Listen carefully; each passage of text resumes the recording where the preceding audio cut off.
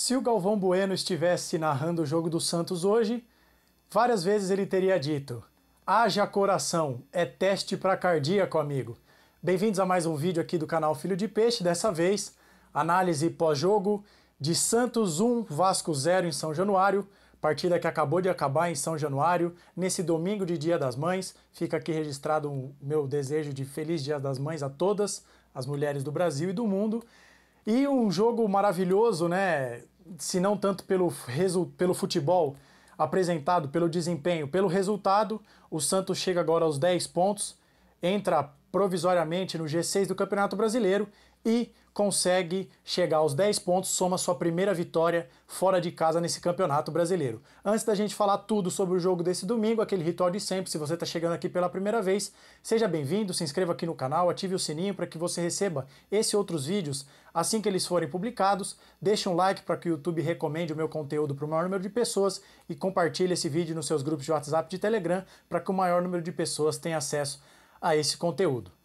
Como eu falei, vitória muito importante do Santos, que consegue somar seus primeiros pontos né, fora de casa. O Santos iniciou essa rodada com sete pontos, tendo vencido duas na Vila Belmiro, América Mineiro e Bahia, e empatado com o Atlético Mineiro também na Vila. Havia perdido do Grêmio e do Cruzeiro e agora soma sua primeira vitória fora de casa, uma vitória que tira o Santos da 14 posição, né, não, perdão, da nona posição sobe provisoriamente para quinta e a gente consegue um, um resultado numa partida em que o Santos foi eficiente.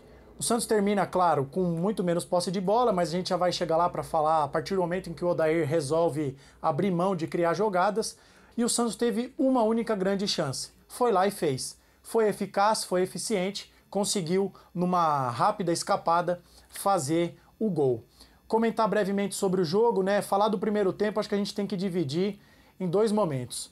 Para vocês terem uma noção, né, até os 25 minutos do primeiro tempo, eu separei aqui os dados para vocês. Aos 25 minutos do primeiro tempo, o, o Vasco tinha 73% de posse de bola contra 27 do Santos, 4 a 0 em finalizações e 125 a 51 em passes trocados. Ou seja, em 25 minutos o Santos tinha, vamos arredondar, 50 passes trocados. Ou seja, dois passes por minuto, muito pouco. O que nos leva a crer, né? O que, o que, nos, o que nos mostra que nessa primeira metade do primeiro tempo o Santos abdicou de jogar bola, não conseguia sequer trocar passes, trocava dois passes por minuto. Aí, aos 27 minutos, o Santos tem uma rara escapada numa linda jogada. O Lucas Lima toca a bola para o Braga, que devolve para ele. Ele vai à linha de fundo e observa inteligentemente a movimentação do David, que para na entrada da área, recebe e faz um gol de centroavante. Esse menino é realmente assombroso. Que jogador! Não é um gol fácil de fazer.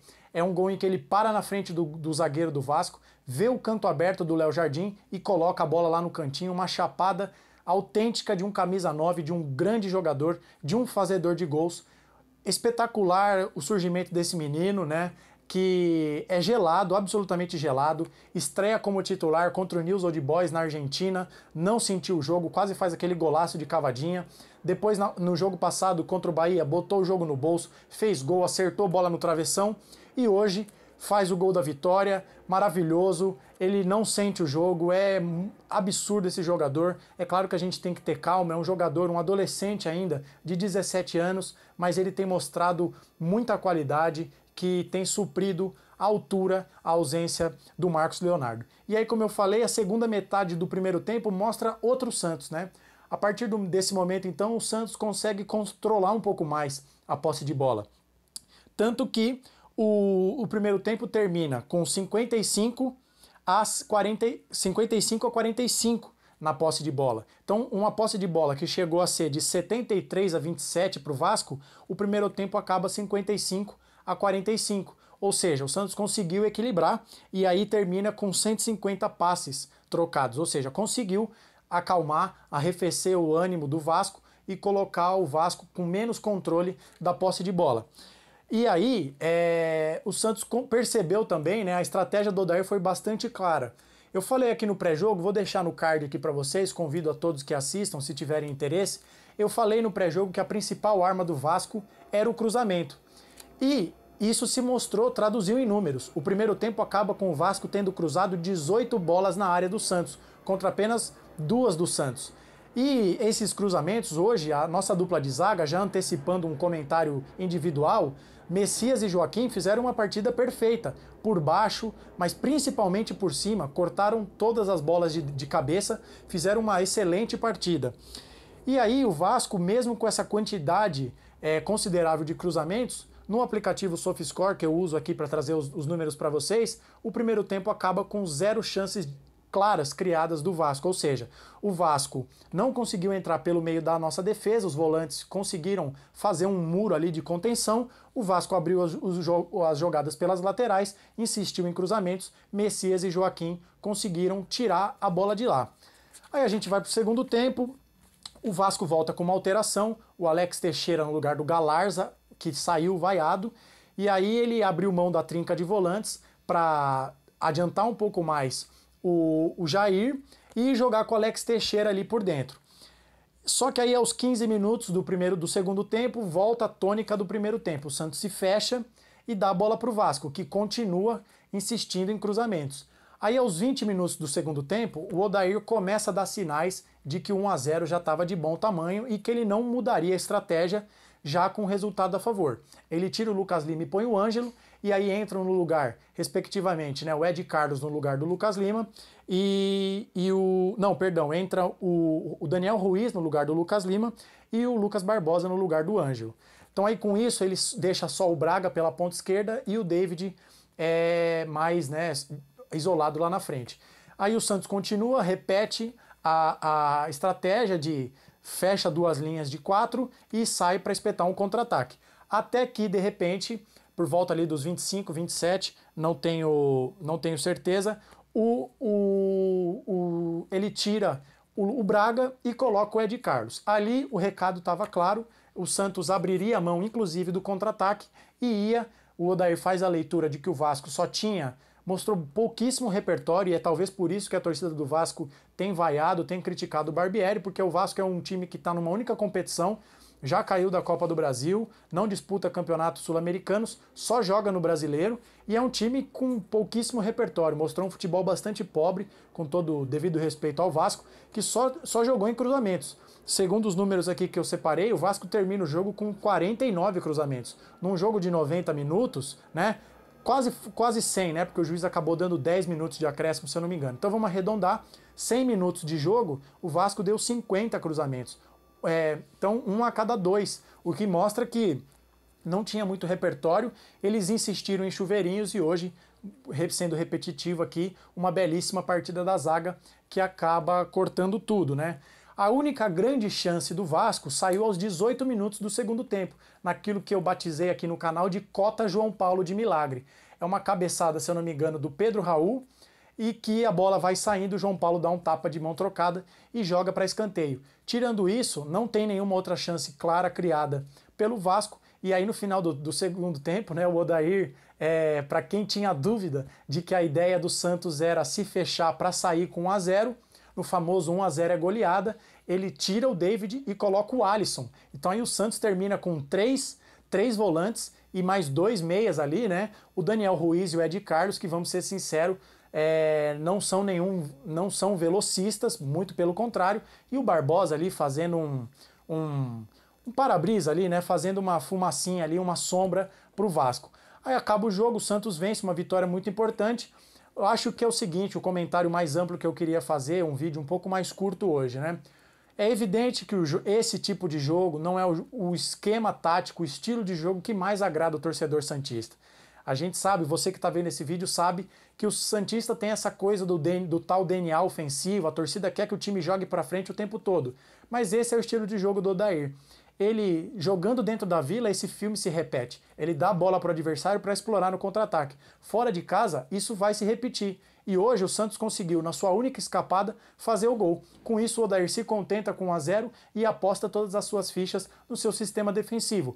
E aí, uma coisa que precisa ser elogiado, um mérito do trabalho dele, é que a defesa do Santos, que antes era uma verdadeira peneira no jogo aéreo, agora parece que se encontrou. Messias e Joaquim, o Messias principalmente, ele é basicamente perfeito no jogo aéreo. Ele corta muitas, muitas bolas por cima e hoje o Joaquim também não deixou a desejar. Então, mérito para o Odair que conseguiu, mais uma vez, neutralizar criação de jogadas do Vasco, viu, leu corretamente que o Vasco não tinha criatividade, não teve competência para criar jogadas pela intermediária Santista e deu as laterais para o Vasco cruzar e abusar de, de contra-ataques. Acho que isso Claro, o final do jogo, o nosso coração já estava aqui na, na ponta da língua, já quase saindo, porque você vê né, o time indo para frente, para frente, sem que você tenha uma mínima válvula de escape. Isso preocupa, é claro, né? Por exemplo, vamos imaginar aqui, sábado que vem o Santos enfrenta o Palmeiras, jogando na Vila Belmiro um time da qualidade do Palmeiras, se você der tanta bola, tanto campo, tanto espaço, eles vão machucar, eles vão punir e vão provavelmente fazer gols no time do Santos. Então acho que a única questão é dosar um pouco, mas eu não acho que contra outros times o Santos vai ser 100% recuado. Acho que hoje o Odair faz uma boa leitura ao perceber que o Vasco não teve repertório e é um time que terminou a partida com quase 50 cruzamentos. Mas no mais, o que fica bem claro é que o Odair vai ser isso. O torcedor Santista pode até sofrer, e hoje sofreu bastante, mas consegue colecionar pontos. E a última coisa que eu queria falar é quando você quando sai a tabela do Santos e você olha os cinco primeiros jogos, né? Grêmio fora de casa, Atlético Mineiro na Vila Belmiro, Cruzeiro fora, América Mineiro e Bahia. Você, torcedor, imaginava que a essa altura do campeonato o Santos teria 15 pontos conquistados 10 pontos conquistados em 15 disputados? Provavelmente não. Então isso também é mérito do Odair, que consegue, pelo menos nesse início de campeonato, mostrar um time que, se não joga o futebol mais vistoso, mais exuberante, pelo menos compete e consegue minimamente alguns resultados. No geral, acho que esse é o comentário. Hoje, assim, o João Paulo fez uma grande defesa quando exigido, a linha de zaga toda bastante segura, para mim, Messias e Joaquim foram dos melhores em campo. O Inocêncio e o Natan, partidas discretas, seguras. O Dodi, como sempre, espetacular. Aquele motorzinho no final do jogo lá, uma, uma das milhares de bolas cruzadas do Vasco, não tinha ninguém para puxar o contra-ataque. Ele simplesmente saiu correndo, ganhou a bola e ainda quase sofreu uma falta do Piton. Espetacular esse jogador, é o motorzinho. Fernandes ainda faz algumas faltas um pouco bobas, né? É, principalmente que era tudo que o Vasco queria faltas laterais para cruzar a bola na nossa área. E pelo menos em duas ocasiões o Fernandes faz aquela falta boba de que ele dá um tranco nas costas do, do adversário, que é tudo que o jogador quer para que tenha uma falta lateral. Lucas Lima, discreto, porque o Santos não criou muito, mas é dele o passe para o gol do David. Então fica aqui o mérito pela assistência do Lucas Lima, uma partida discreta, mas muito eficiente. Na única escapada, passou a bola para o menino fazer o gol. Lucas Braga achei bastante apagado, assim como o Ângelo. Acho que o Ângelo até criou um pouco mais de jogadas do que o Lucas Braga, mas ainda assim apagado, porque o Santos não teve tanto volume ofensivo.